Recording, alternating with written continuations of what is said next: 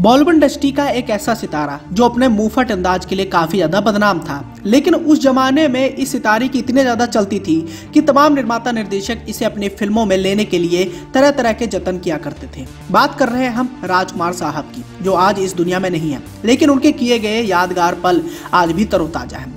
राजकुमार साहब की बेहतरीन डायलॉग बाजी देखने के बाद हर कोई उनका दीवाना हो जाया करता था। इतने नहीं, उनकी बेहतरीन डायलॉगबाजी इस कदर फ़ेमस रहती थी कि पूरी फ़िल्म में वो अपने एक दो डायलॉग की वजह से काफ़ी ज़्यादा लाइमलाइट में आ जाया करते थे। वहीं दूसरी ओर राजकुमार साहब अपने मुंहफट अंदाज के लिए भी काफ़ी ज़्यादा बदनाम रह चुके थे। अपने जमाने के कई सारे स्टार्स की वो मिनटों में बेइज्जती कर दिया करते थे। धर्मेंद्र से लेकर जितेंद्र जितेंद्र से लेकर अमिताभ बच्चन और गोविंदा तक को भी राजकुमार साहब ने नहीं छोड़ा। इन सभी स्टार्स की राजकुमार साहब ने मिनटों में बेइज्जती तक कर दी थी। अब वैसे तो राजकुमार साहब के बेइज्जती का शिकार हुए कई सारे ऐसे कलाकार रहे हैं जो काफ़ी ज़्यादा लाइमलाइट में हैं। और उन्हीं कलाकारों की तरफ़ नज़र डालें तो बॉलीवुड के जाने माने संगीतकार व गायक बप्पी लहरी के साथ भी कुछ ऐसे हुआ। और सबके सामने बप्पी लहरी को लेकर राजकुमार साहब ने जो बात कह दी थी, उसे जानने व सुनने के बाद आपकी भी हँसी छूट जाएगी। अब एक तरफ़ जहाँ राजकुमार साहब ने अपने शानदार फिल्मी सफ़र के दौरान एक से बढ़कर एक फ़िल्में की लेकिन उनकी सभी फ़िल्में हिट नहीं हुई।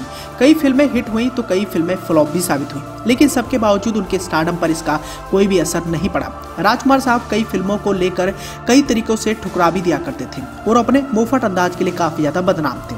राजकुमार साहब के लिए मायने नहीं रखता था कि फ़िल्म की कहानी अच्छी है या नहीं, बल्कि डायरेक्टर का चेहरा पसंद न आने के कारण भी वो कई बार फ़िल्मों को करने से मना कर देते थे और उनकी इस हरकत के कारण उनकी कई सारी फ़िल्में फ्लॉप भी हो जाती थी। और एक ऐसे ही किस्सा बप्पी लहरी के साथ भी जुड़ा हुआ है। यहाँ हम आपको इस बात की जानकारी देना चाहेंगे कि इंडस्ट्री के जाने माने संगीतकार व गायक बप्पी लहरी का सोनू से कितना प्रेम है, यह हमें बताने की ज़रूरत नहीं है। वो अक्सर सोने से लदे दिखते हैं, लेकिन सोने से लदे रहने के कारण बप्पी एक बार राजकुमार साहब के मज़ाक का शिकार भी बन गए थे। और ये सब हुआ था एक पार्टी के दौरान। दरअसल हुआ यूँ कि एक पार्टी में बप्पी लहरी की मुलाकात राजकुमार साहब से होती है। अब अपनी आदतों से मजबूर बप्पी लहरी ने ढेर सारी सोनू के गहने को अपने शरीर पर लाद कर पार्टी में आए। गहने को लदा देख राजकुमार साहब ने भी ये कह दिया कि शानदार, आपके एक से एक गहने पहने हैं, सिर्फ़ मंगलसूत्र की कमी है। वो भी पहन लेती तो ज़्यादा अच्छे दिखते। राजकुमार साहब की इस बात को सुनकर बप्पी को बिल्कुल भी अच्छा नहीं लगा और वो थोड़ा सा शर्मा भी गए। लेकिन वे किसी की पार्टी में गए थे, जिसके कारण उन्होंने कुछ कहा नहीं और हँसी मज़ाक में इस बात को टाल दिया। तो इस तरह आप भी समझ सकते हैं कि राजकुमार साहब किस तरह के मुफट इंसान थे।